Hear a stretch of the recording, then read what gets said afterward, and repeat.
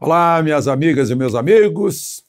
Chegou a hora da nossa conversa nesta quinta-feira, 27 de maio, dia do Serviço de Saúde do Exército. Por que, que eu estou registrando isso? Porque o Serviço de Saúde do Exército está fazendo um grande trabalho de vacinação, né? inclusive vacinando jornalistas à noite, porque jornalista trabalha durante o dia, é, com a maior eficiência, né? mas principalmente na Amazônia. Presença do Exército na Amazônia, né? assim como da Marinha, da Força Aérea, mas é, e, e, coincidiu que hoje o presidente da República esteve lá na cabeça do cachorro, São Miguel da Cachoeira, aquela região ultra isolada que já sofreu o ataque da guerrilha colombiana, né? houve mortos, e foi inaugurar um, uh, energia elétrica solar e uma ponte de madeira construída pela engenharia do Exército, num igarapé, numa estrada de terra que, no entanto, é a BR-307 é uma região povoada por indígenas, que são os militares de lá também. Né? É, há, um, há uma simbiose entre exército e indígenas da área. É, bom, mas eu queria falar também sobre o dia do serviço, né? O patrono, é dia do nascimento do patrono, que é o irmão do Marechal Deodoro, José Severiano da Fonseca. É, ele era estudante de, de medicina no Rio e já foi como voluntário no combate a um, uma epidemia de cólera naquela época. Depois, aí ele foi condecorado pelo imperador Pedro II e se inscreveu eh, no exército como segundo tenente cirurgião, serviço de saúde puro. Estava doente, estourou a guerra do Paraguai, lá foi ele como voluntário. Participou de praticamente todas as batalhas como cirurgião né, atendendo. Depois uh, fez a mesma coisa em Canudos, né, na, lá na revolta de Canudos. E vejam só, foi depois, já como tenente-coronel, subiu. Uh, foi diretor de hospitais no Rio de Janeiro, foi eleito senador, foi escolhido senador, e chegou a general de brigada. Então, Fica aí o registro, minha homenagem a todos que, dentro do Exército, no Serviço de Saúde, né, que trabalham não só em pandemia, né, trabalham antes disso. Né, por exemplo, combatendo eh, doenças tropicais lá na Amazônia, eh, enfim, fazendo não só um papel dentro eh, da força, mas também para as populações que têm contato com o Exército Brasileiro. E muitas vezes o Exército Brasileiro é a única presença do Estado brasileiro, como nos pelotões de fronteira, tal como uh, o presidente Bolsonaro hoje mais uma vez pôde constatar. Então, vamos aos demais assuntos de hoje. Não, inscreva, não, não esqueça de se inscrever e ao final de dar o seu like e o seu dislike.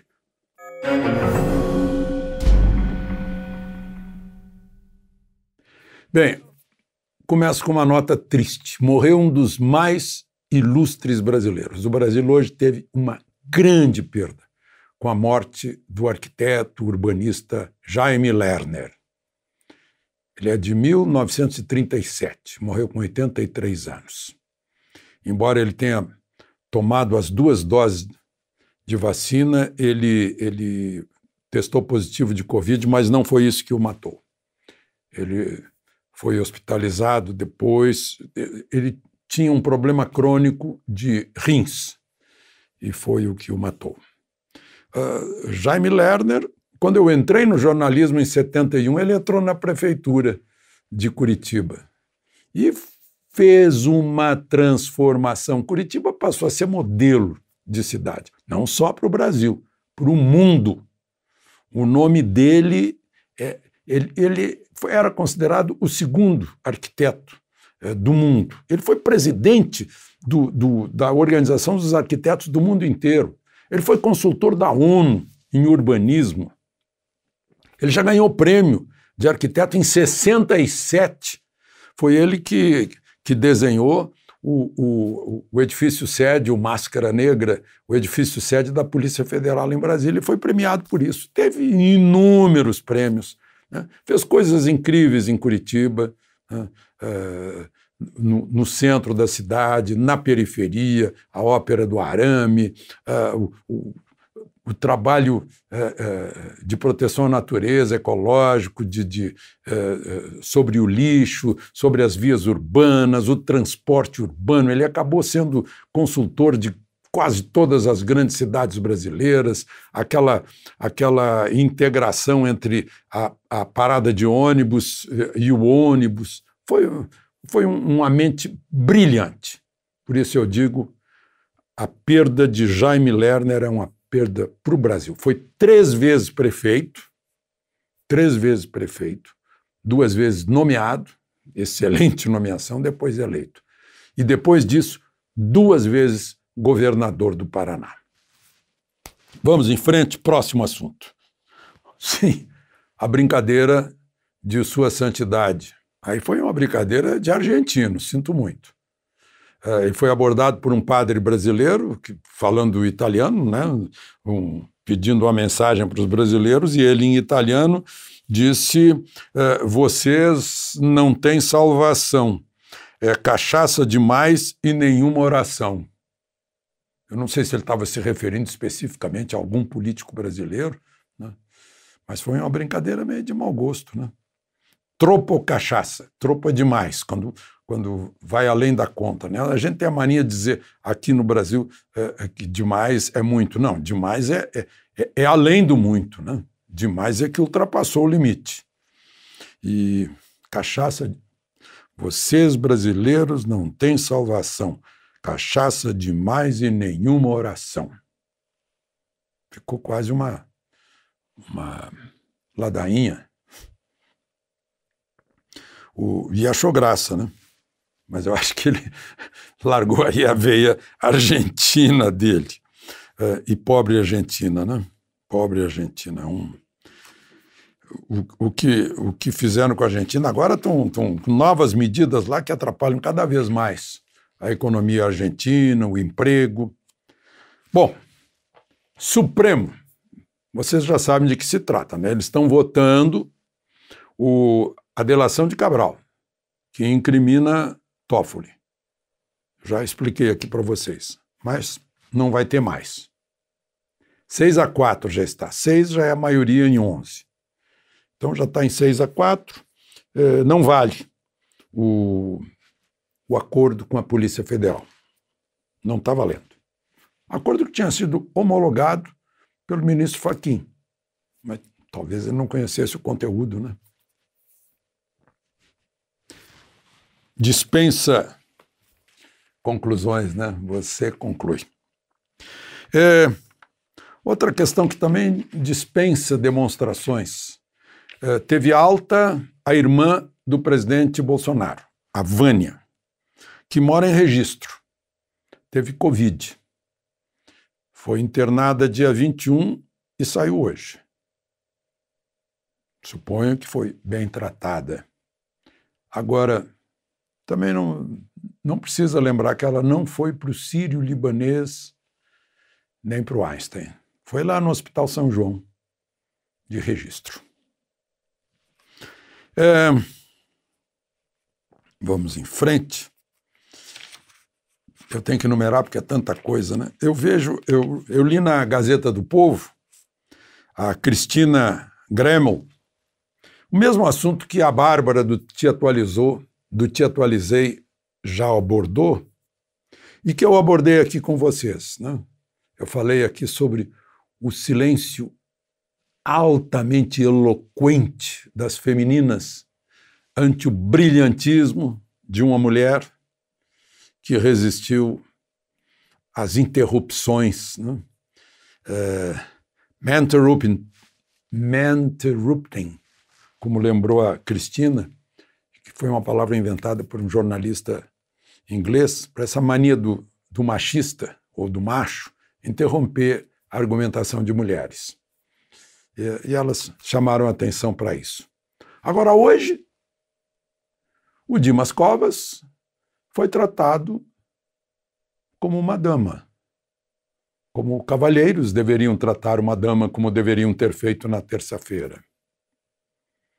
Ninguém levantou a voz. nem mesmo os governistas, adversários de, de Covas e tal. Foi tudo plano, educado, civilizado. É.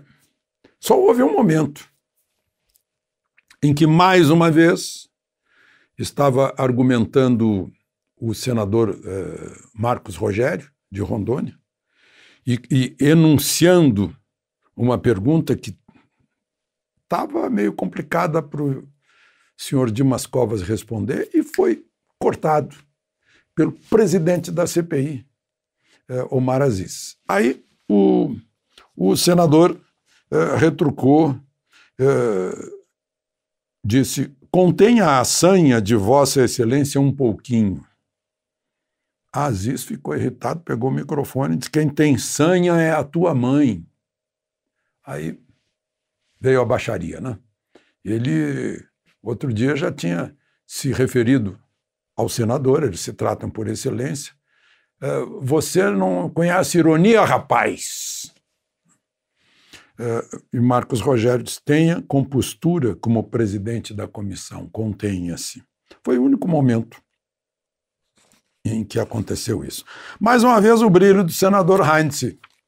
É, ele lembrou, porque o, a grande questão era que Dimas Covas estava demonstrando que o governo poderia ter comprado 60 milhões de doses de vacina ainda em, do, em, em 2020. Aí o, senador Heinz trouxe uma, uma, cronologia incontestável, tanto que não foi contestado. Né? É, é o seguinte: que o Butantan entrou no dia 30 de novembro de 2020 é, com, com o, o, documentação na Anvisa. Aí pediu a licença no dia 8 de janeiro de 2021. E a licença da Anvisa saiu no dia 17 de janeiro de 2021. A partir dali, abemos vacina. Né? Então, não tinha vacina em 2020. Ficaram um tempo enorme, horas e horas, discutindo sobre por que, que o governo atrasou, não comprou, mas não tinha, não tinha registro na Anvisa. Outra coisa que ele lembrou, né, porque eu mesmo é, é, falei que estamos curiosos para saber a experiência de Serrana, onde o Butantan está fazendo uma experiência. Vacinou 97% das pessoas é, do alvo, né, e para saber os resultados, a queda. Mas aí o, o senador Heinz pediu para ver também Porto Feliz, Porto Seguro, Chapecó, né, e que caiu para metade do índice de mortes de São Paulo, por exemplo. Né. É, a pergunta também que eu faço, todo mundo faz, por que, que a corona, quem foi vacinado com a Coronavac, não, a vacina não serve para a Europa, não serve para os Estados Unidos? Também ficou assim, a gente não teve exatamente ele também não podia responder, porque é uma questão interna é, da, da região do euro e uma questão interna dos Estados Unidos. E tivemos a informação boa de que 16 laboratórios estão trabalhando, se adaptando, né? não para este ano, que esse ano já há vacina suficiente, já são 600 milhões de doses, né? É, mais do que isso, mas para os outros anos, porque a gente vai acabar. O novo normal vai ser a presença desse vírus aí nos incomodando sempre. O, assim, ele lembrou uma coisa que derruba outro argumento. Né? O próprio embaixador chinês declarou que os atrasos é, é, da China de entrega do IFA, né, do, lá da essência, não se devem a retaliações. Claro, é uma resposta, porque estão acusando a China de retaliar, de não respeitar a necessidade brasileira de vacina de retaliar. Ele explicou que tem 100 clientes dos produtores e que tem mais 1 bilhão e 400 milhões de chineses esperando vacina também. Né?